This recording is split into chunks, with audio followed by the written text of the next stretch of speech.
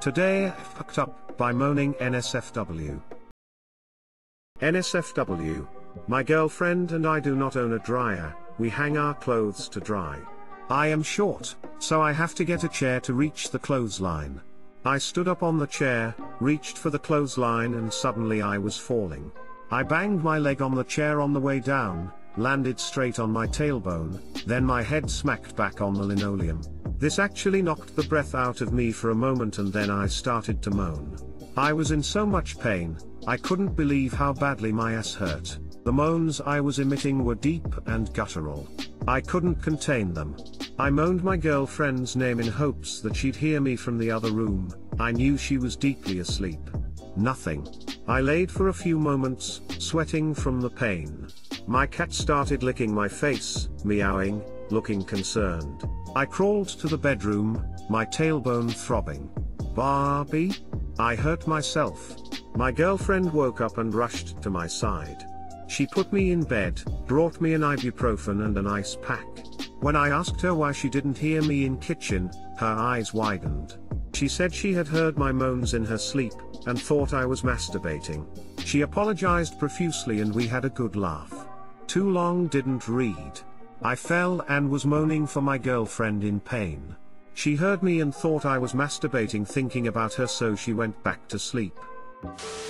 Ike how recent this happened, but since you landed on your coccyx, you should get it checked out ASAP.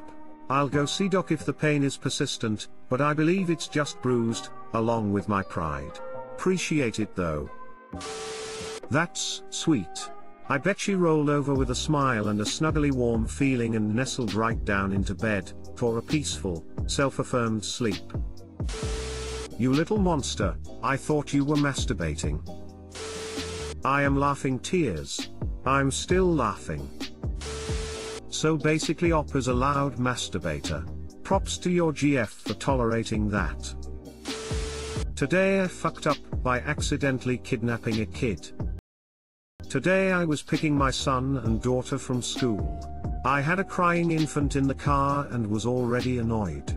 My son was talking to me but I was too distracted trying to calm down the baby, we were parked outside the school.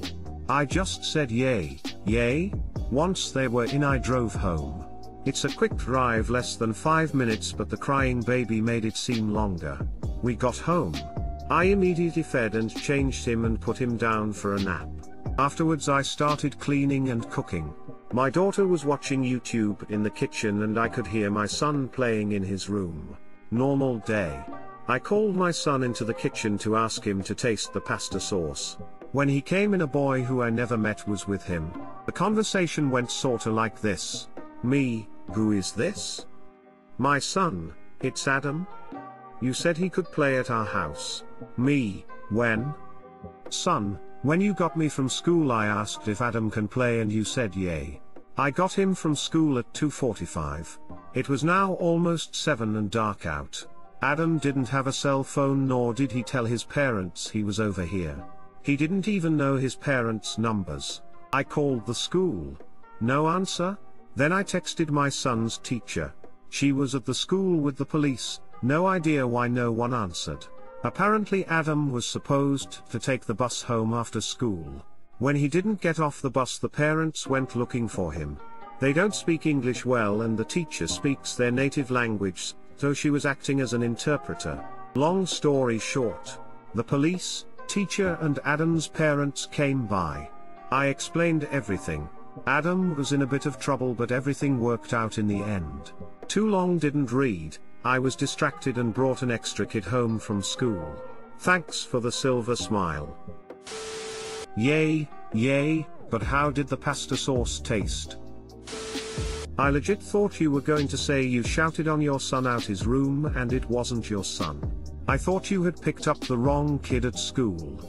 I read the first half of your post thinking you were talking shite. Lol. I thought this same thing would happen. Like he ushers a kid into his car who is trying to tell him, hey, I'm not your kid. And he's paying no attention, so he's like, yeah, yeah, whatever, just get in. So the child does what the adult tells him to. This could have gone way worse Lamau nice one up. Definitely. It's funny now but I bet his parents were terrified. I've been suckered into kidnapping before, too. Little turds, 8 and 10ish, knocked on my door saying my neighbor asked me to drop them off at the skating rink. When I talked to neighbor on my return, she didn't know those kids at all. Scared the hell out of me. I don't interact with kids at all anymore. So who were those kids? And do your neighbors randomly ask you to take random kids somewhere? I am a mom and can totally understand how this happened. I read this three times and laugh my head off each time. I am getting nothing done at work today. Today I fucked up by going on a better date with my daughter than I have with wife in 8 years. Let me, 32M, start by explaining my use of date. My so, 39F, let's call her K and I have two children, one let's call O is 10M and C is 11F. About once a month or so K and I have what we call a bonding day with each kid individually. Today was my day with C and her day with O. O wanted to stay home and watch shows I don't particularly like and play Lego. It sounds like a great time. C wanted to go ice skating and she wanted me to pick an activity as well. K is very strict with the plan kind of person. I like to have an idea and run with it. So how was our day? It started at lunch at a pho place because I really wanted a pork mi while there she wanted a Starbucks and I had a leftover gift card so I sent her over. We ate lunch on the way to the ice skate ring with the plan to do my activity next. After two hours of ice skating, we were both exhausted and I didn't want to start mine yet because I needed to sit for a while. So I thought I haven't had a mani in a long time that sounds nice, we head over to a local salon and she talks me into a mani slash pedi. After a relaxing mani slash pedi, we head to my activity, the gun range. I shot my gun and rented her a pistol 22 because I wanted her to be more comfortable with the size of the gun. It went awesome she had a great time and was so proud of her paper targets that she wanted to keep to bring home to show her mom. We had a tough time all day trying to figure out what we wanted for dinner. Finally, we came up with a great plan, Olive Garden, because we knew her mom was not a fan and would feel like she missed out. While waiting for our table she was watching silly YouTube videos while I texted her mom pictures and videos of what we had been up to so far. After she saw them she said I feel like it's good we don't do this on the regular. You guys are having a nicer date than you and I are going to have on our anniversary. This is when I realized I fooked up. She wasn't wrong, it wasn't on purpose and almost no planning went into and yet somehow she was right. That day put together was better than anything we have planned for our upcoming anniversary. Got home to a so that is understandably annoyed. Let's just say the couch looks pretty friendly tonight. TL Doctor I took my daughter on a wonderful day out that blows away what I have planned for my so for our anniversary, now I'm gonna have to sleep on the couch tonight. You didn't fuck up by having a great time with your daughter. A great daddy slash daughter day is what life is all about, and fuck anyone that challenges your right to it. That said, it really sounds like you and your wife need to start communicating better. You basically had a day with your daughter that on paper your wife wouldn't have enjoyed, and now she's jealous of it.